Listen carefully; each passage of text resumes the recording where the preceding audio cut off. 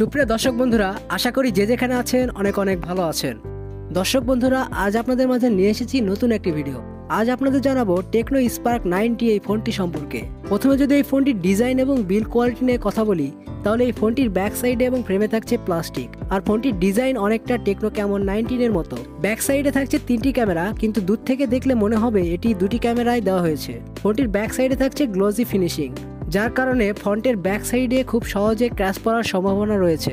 এছাড়াও cover use করে ব্যবহার করাটাই ভালো হবে। এই ফোনটিতে আপনার three point five millimetre micro SD port পেয়ে যাচ্ছেন।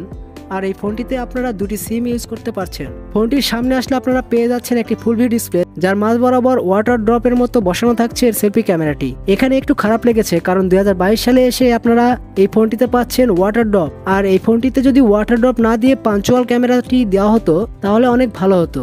আর এই ফোনটিতে থাকছে সাইড মাউন্টেন ফিঙ্গারপ্রিন্ট সেন্সর, যা যথেষ্ট ফাস্ট এবং অ্যাকুরেট বলে জানতে পেরেছি। ফোনটি আপনারা তিনটি কালার ভ্যারিয়েন্টে পেয়ে যাবেন, ব্ল্যাক, সিলভার এবং গ্রিন কালার।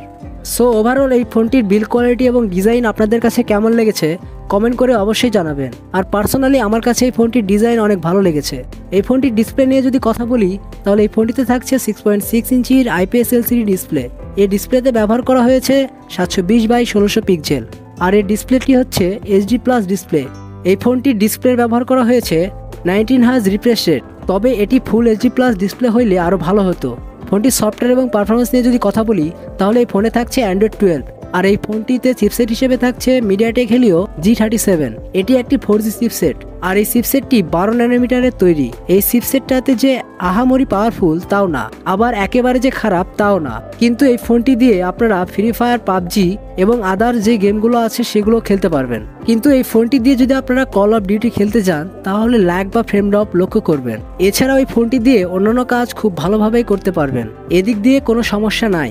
বাংলাদেশের বাজারে এই ফোনটি দুটি ভেরিয়েন্টে পাওয়া যাবে, বর্তমানে আপনারা চার জিবি, একশো আঠাশ জিবি ভেরিয়েন্টটি পেয়ে যাবেন। ফোনটির ক্যামেরা নিয়ে যদি কথা বলি, তাহলে এই ফোনটিতে থাকছে থার্টিন মেগাপিক্সেলের ক্যামেরা, আর এই ফোনটির সেলফি ক্যামেরা হিসেবে থাকছে থার্টি টু মেগাপিক্সেলের ক্যামেরা। তো চলুন দেখে আসি ফোনটির ফটো কোয়ালিটি কেমন হবে।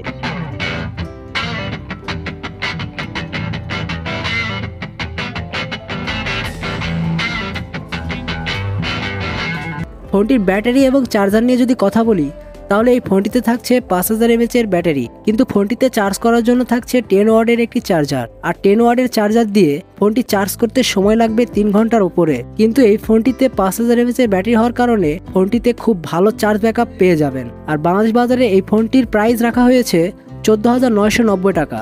আমার মনে হয় আপনাদের যদি পনেরো হাজার টাকার মতো বাজেট হয়ে থাকে, তাহলে এই ফোনটি আপনাদের জন্য অনেক ভালো হবে। আপনাদের কাছে এই ফোনটি কেমন লেগেছে কমেন্ট করে অবশ্যই জানাবেন। সো বন্ধুরা, এই ছিল আজকের ভিডিও ভিডিওটি আপনাদের কাছে কেমন লেগেছে কমেন্ট করে অবশ্যই জানাবেন। আর আপনি যদি আমার চ্যানেলে নতুন হয়ে থাকেন, তাহলে অবশ্যই আমার চ্যানেলটি সাবস্ক্রাইব করে দিয়ে পাশেই থাকবেন। ধন্যবাদ।